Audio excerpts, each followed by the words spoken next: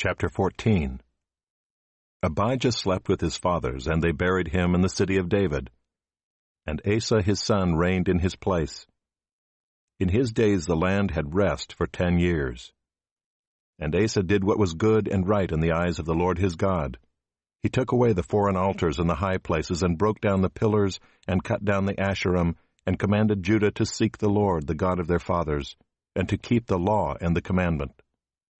He also took out of all the cities of Judah the high places and the incense altars. And the kingdom had rest under him. He built fortified cities in Judah, for the land had rest. He had no war in those years, for the Lord gave him peace.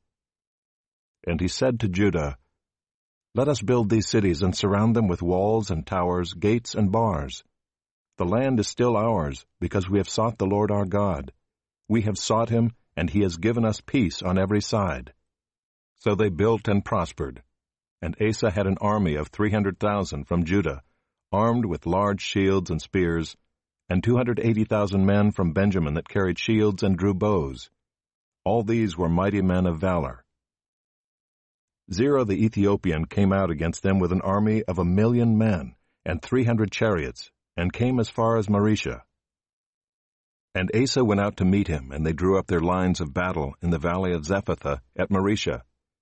And Asa cried to the Lord his God, O Lord, there is none like you to help, between the mighty and the weak. Help us, O Lord our God, for we rely on you, and in your name we have come against this multitude. O Lord, you are our God. Let not man prevail against you. So the Lord defeated the Ethiopians before Asa and before Judah, and the Ethiopians fled.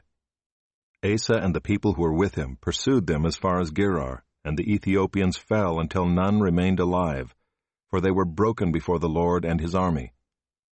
The men of Judah carried away very much spoil, and they attacked all the cities around Gerar, for the fear of the Lord was upon them. They plundered all the cities, for there was much plunder in them. And they struck down the tents of those who had livestock, and carried away sheep in abundance, and camels, then they returned to Jerusalem.